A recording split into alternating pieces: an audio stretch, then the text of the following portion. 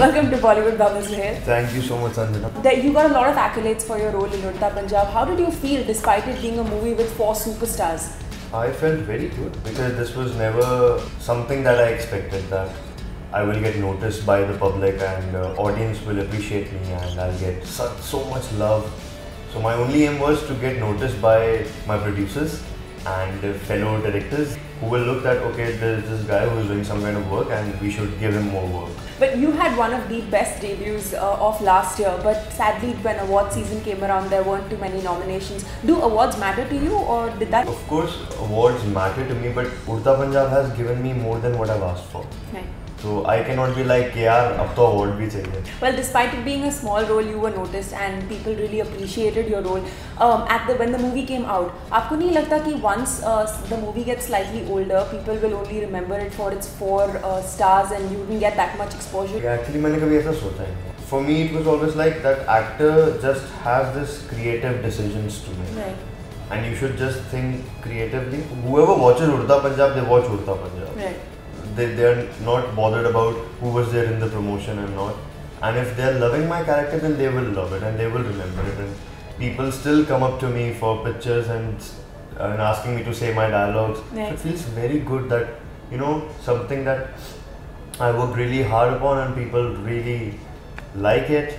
So it feels good. So in Commando 2, congratulations for Thank your new you movie. um, your character is Grey. Hmm. Uh, so you've played a Grey character. You've Right. played somebody who's who's this funny, eccentric, supportive cousin. It's a varied uh, type of uh, role kind of spectrum that you have. Is it something that you're doing intentionally, or is is it just something that's happening? Commando I signed before Urta Punjab got released. Like Right. the incentive was that I will be playing Shefali Shah's son. Right. And after Akshay Kumar and Ranveer Singh, I, I, I thought I'm the lucky actor to share the screen with that woman because she's fabulous. Right. She's just amazing. Your next project is titled uh, Hotel Mumbai. Can you tell us a little bit more about that? So Hotel Mumbai is an Australian American production. Right. And the studio is Weinstein Company. It's a very big studio. And it's a very big film. Dev Patel is there in the lead. And that film is about Taj attacks, uh, the 2008 Taj attacks. तो हम सब जानते हैं उस time पे क्या हुआ था। तो ये फ़िल्म वैसे भी हम लोग के बहुत करीब है। And I can talk much about my character in hotel Mumbai bound by contract. But that is something I have never done in my life तो उड़ता पंजाब के बाद आपने एक वेब सीरीज़ की। तो ऐसा नहीं है कि you are bound to only doing movies are you open to also doing say television Honestly, I don't watch television, and only show that I watch is या तो न्यूज़ चैनल्स पे कुछ आ रहा हो या फिर द कपिल शर्मा शो तो मुझे टेलीविज़न में वैसे हमारा इंटरेस्ट क्योंकि ऐसा लगता है कि अगर मैं नहीं ऑडियंस तो मैं वो चीज़ कर नहीं सकता। I am more open to and if we try to break the television space like the web is doing right now जैसे वेब सीरीज़ बन रही है आज के टाइम पे इतनी प्रोग्रेसिव एक तरीके से कंटेंट वाइज अगर ऐसा कंटेंट आप टेलीविज़न पे दोगे तो क्यों नहीं कोई भी एक्टर करना चाहेगा तो तब मैं टेलीविज़न कर सकता हूँ but I am very much open to web तो आपको do you have any idea of the kind of roles that you want to do और the kind of niche that you want to carve for yourself or are you just taking every day as it comes or you're looking at the quality of the role that's being offered to you Of course, I look at the quality of the role that has been offered to me.